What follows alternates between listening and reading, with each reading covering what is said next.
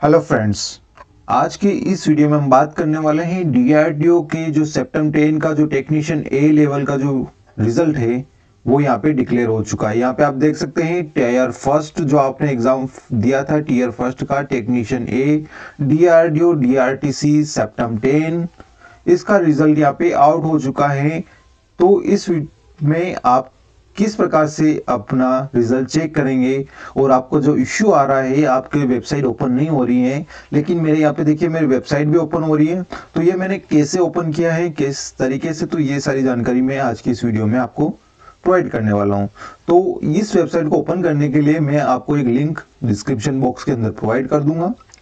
Description link में provide करने के बाद इस तरह का आपके पास इंटरफेस आ जाएगा।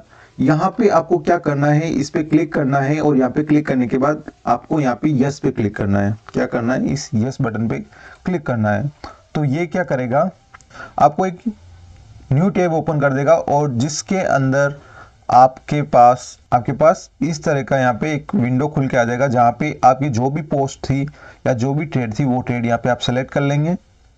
और फिर यहाँ पे जो आपका एप्लीकेशन नंबर था वो एप्लीकेशन नंबर यहाँ पे फिल करके आप यहाँ पे डेट ऑफ़ बर्थ जब फिल करेंगे और यहाँ पे कैप्चा फिल करने के बाद आप जब सबमिट पे क्लिक करेंगे तो कुछ टाइम के बाद क्या होगा कि ये आपके रिज़ल्ट को कुछ इस प्रकार से यहाँ पे शो कर देगा।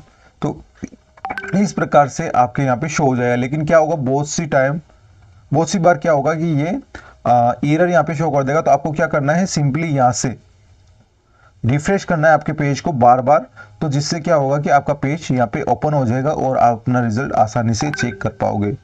तो दोस्तों, आज का वीडियो आपको कैसा लगा, आप कमेंट करके ज़रूर बताएँ और साथ ही इस वीडियो को आप अपने फ्रेंड के साथ भी शेयर करें, जिससे कि वो अपने रिज़ल्ट को चेक कर पाए।